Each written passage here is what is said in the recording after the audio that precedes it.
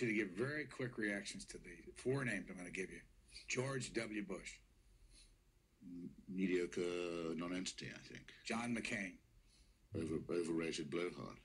Bill Bradley, A man who, who boasts of having Henry Kissinger as his foreign policy advisor. That does it for me. Al Gore, A pathetic doormat of a man um, who's been you know, subjected himself to eight years of humiliation now and must wish every day that he'd had the nerve to run against George Bush in um, in 92. He must, he must relive his decision not to do that every day. a couple of quick. Uh, You can't have you can't have a shred of self-respect left to him. Pat Buchanan, Well, um, Pat, Pat Buchanan represents a, a tradition that I abominate, the, tra- the tradition of Father Coughlin and Franco and Joseph McCarthy and all the other people who he admires and wishes to, res- to resuscitate. some people in the audience, I, I have to use the word some, enjoyed your characterizations of people running. I want to try some more with you just to get. This is quick.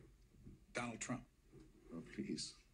Well, he's managed to cover 90% of his head with 30% of his hair.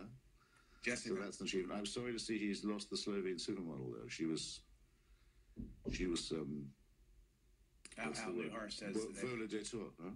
Al, Neuharth's upset about that today. He writes about. Uh, Donald, uh, I mentioned him. Uh, Jesse Ventura. Well, I liked I liked what he said about religion. Um, I thought that was courageous, and I was sorry to see him trying to back away from it. I, Right. I know no bad things about him. He does he does somehow find it hard to shake the impression of being a clown, though. Ross Perot. No, the guy with this uh, megalo. Uh, you noticed that McCain wants to call the man in charge of reform a czar. You noticed that this morning. I wish we could banish the word czar from uh, from uh, discourse. We don't really need uh, hereditary autocrat, but um, it always seemed to me that Perot had a czar complex. Steve Forbes. Smart guy, smart guy, and thoughtful, and running actually quite an interesting campaign.